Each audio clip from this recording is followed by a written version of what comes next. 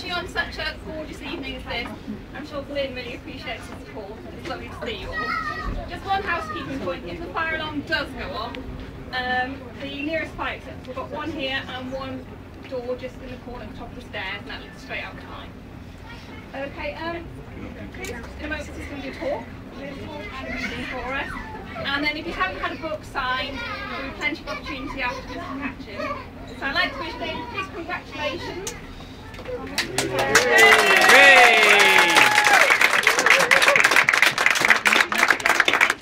thank you. Okay. Um, thank you all very much for coming along.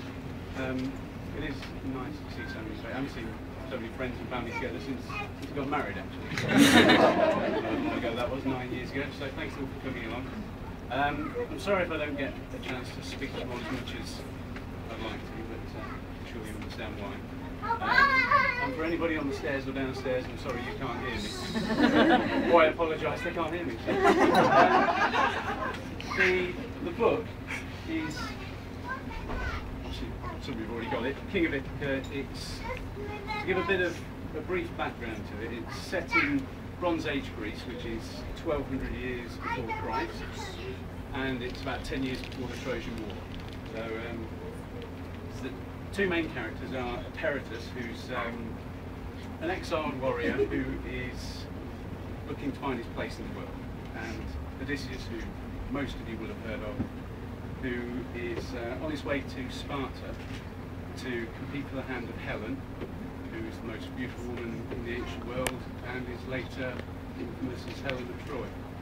So that's the basic background of the book. What it is, it's, it's an old-fashioned adventure story, really. It's got a journey, um, it's a quest, it's got larger-than-life heroic characters, men and women.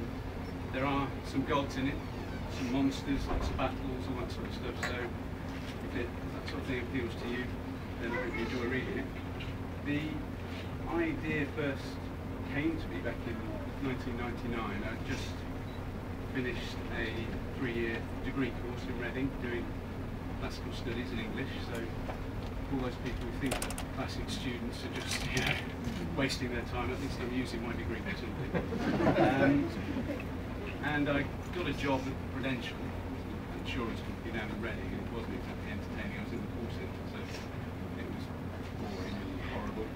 So I'd always wanted to be a writer since I was about seven or eight when my poetry was put up on the classroom wall. And I finally realised there was something I could actually do. So that was it. I always wanted to be a writer, and of course, when I worked at Prudential, I thought, time change, I'll start to write the book. And he would say, write what you know. So I thought I'd write a book about the Trojan War. Um, actually, the first book in a series of six. um, so I wrote it, it took about three years. I finished it in 2002. Started my research in 2000, no, 1999. Started writing in 2000, finished it middle to the end of 2002 and started sending it out to agents and publishers. Um, I don't know what you know about trying to get books published, but basically send a cover letter with a synopsis, which is a brief description of what goes on in the book, and then you send two or three sample chapters, which are supposed to make people realise what a wonderful book you've written, and then they want to give you lots of money and, and print it and put it on shelves and sell it. Um, Thank you, Kate.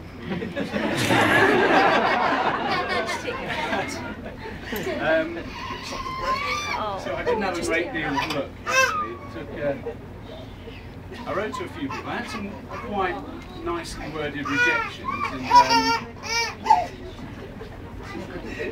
never worked with children and animals. um, I had some nicely worded rejections, and then Hodder and Stoughton, who are quite a big publisher, asked to see the whole manuscript. So I sent that off to them, and this was early 2003, and the editor there really liked it. And she tried to get the rest of the company to get board. Sales and marketing said there was no market for books about the ancient world.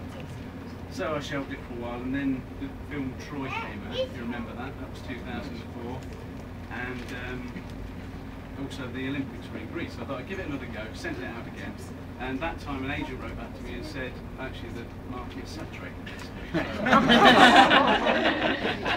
So I just shelved it for good as a, as a thought, and started writing a kids book, which is quite significant. Um, and then I got an email in, I think August or September 2006 from the editor at Hodder and Stoughton, who had now left and moved to Macmillan, saying, are you still interested in getting the book published? So I said, you're right. so they, they, she took it off to their sales marketing people who said, what a fantastic idea, yeah. There's a real market for ancient world books now. So, so they, that was um, that was the start of it really. They gave me a contract in November 2006 to write three books, of which this is the first. The second one has been written, um, it's now in the editing stage, and that's going to be, well, it's penciled in to be published next April. And, uh, there's a draft, draft cover. Obviously a very small book.